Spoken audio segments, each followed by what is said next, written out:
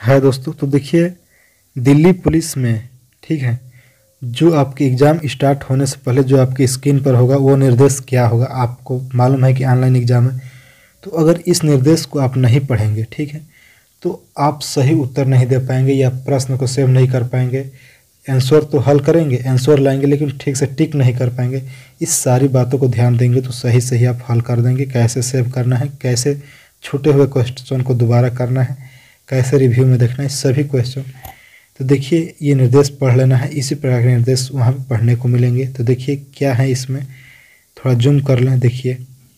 क्या है कि सर्वर पर घड़ी सेट की गई है, तथा आपकी स्क्रीन के दाहिने कोने में शीर्ष पर काउंटडाउन टाइमर में आपके लिए परीक्षा समाप्त करने के लिए शेष समय प्रदर्शित होगा, ठीक है? आपके दाहिने कोने में आपका टाइमिंग काउंटडाउन स्टार्ट हो जाएगा कि इतना समय बचा है, इतना समय बचा है। परीक्षा समय समाप्त होने पर आपको अपनी परीक्षा बंद या जामा सबमिट करने की ज़रूरत नहीं है। यह स्वतः बंद या जामा हो जाएगा, ठीक है? मतलब एग्ज़ाम अगर जो समय होगा वो ख़त्म हो जाएगा तो अपने आप सबमिट हो जाएगा। स्क्रीन के दाहिने कोने पर प्रश्न पायलट प्रत्येक प्रश्न के लिए निम्न में से कई स्थिति प्रकट करता है। देखिए, पहला, ऐसे अगर चिन्ह रहेगा तो you have not visited the question yet ठीक है? अगर सादा रहेगा तो आप क्वेश्चन नहीं देखें। रेड कलर में रहेगा तो you have not answer the question मतलब इसका आप आंसर का क्वेश्चन नहीं दिए लेकिन आगे बढ़ चुके हैं। अगर you have answer the question अगर हरा रहेगा तो आप आंसर क्वेश्चन दे चुके हैं। ठीक है?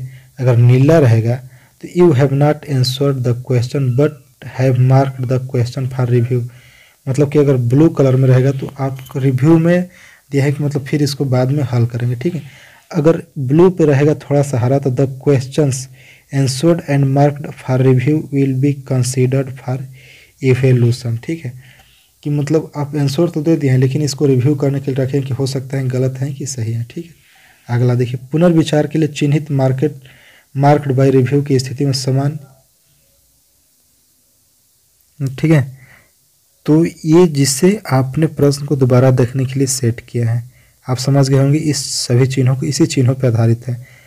अब देखिए, इसका मतलब होगा ऐसे चिन्ह जो है, चिन्ह पर क्लिक कर सकते हैं जो प्रश्न मतलब दाएँ से बाएँ घसकाने के लिए, इधर से इधर इधर से इधर घसकाने के लिए इस चिन्ह पर क्लिक कर सकते हैं जो यहाँ पर लिखा है, ठीक है।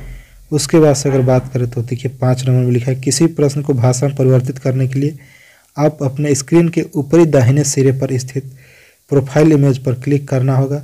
प्रोफ़ाइल इमेज को क्लिक करने पर आपको प्रश्न के अंतर्वस्तु को इच्छित भाषा में परिवर्तित करने के लिए ड्रॉप डाउन मिलेगा, ठीक है? मतलब कि अगर दाहिने में भाषा को दाहिने सिरे पर लिखा है ना, ऊपर में जैसे कि इस सिरे पे जाएँगे तो वहाँ पे लैंग्वेज लिखा होगा, उसको काउंट डाउन करके मतलब नीचे की तरफ़ घिसका करके अपना मनवाचित भाषा को चूज़ कर सकते हैं, ठीक है? उसके बाद देखिए छः नंबर, आपकी स्क्रीन के निचले हिस्से पर स्क्रॉलिंग के बिना नेविगेट करने के लिए मतलब ऐसे जो होगा वो नीचे की तरफ़, ऐसे होगा जो ऊपर की तरफ़ में दिया होगा, इससे आप कर सकते हैं, ठीक है?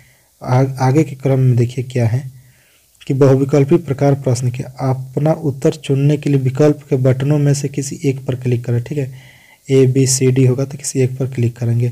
चयनित उत्तर को अचयनित करने के लिए चयनित विकल्प पर दोबारा क्लिक करें या क्लियर रिस्पॉन्स बटन पर क्लिक करें तो आपका हट जाएगा ठीक है?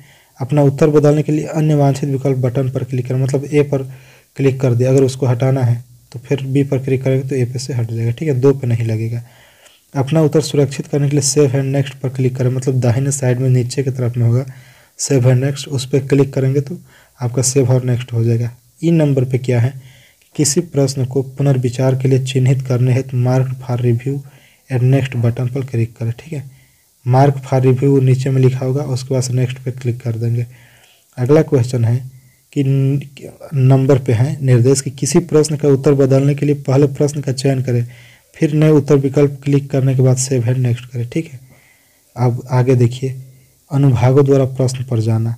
इस प्रश्न पर मतलब ये, इससे अब कोई दिक्कत नहीं है। सेव है नेक्स्ट सबसे पहले ही हो गया है, ठीक है? उसके बाद देखिए नीचे क्या है कि छवियों के लिए निर्देश।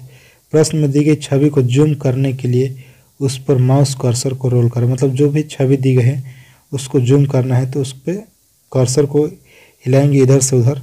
तो क्या होगा? वो थोड़ा बड़ा हो जाएगा दोस्तों तो यही निर्देश हैं। इससे आप सेव हैंड नेक्स्ट कर सकते हैं, कैसे क्या करना है, सब इसमें बता दिया गया है दोस्तों। तो मुझे उम्मीद है कि आप समझ गए होंगे। वीडियो अच्छी लगी हो तो दोस्तों में भी शेयर करें और लाइक करें कमेंट करें, ठीक है? और हमारे चैनल को अब तक सब्सक्राइब नहीं किया तो दिल्ली पुलिस रिलेटेड पल पल के अपडेट पाने के लिए हमारे चैनल को सब्सक्राइब करें दोस्तों। तो फिर मिलेंगे आगे की वीडियो में, तब तक के लिए जय हिंद दोस्त।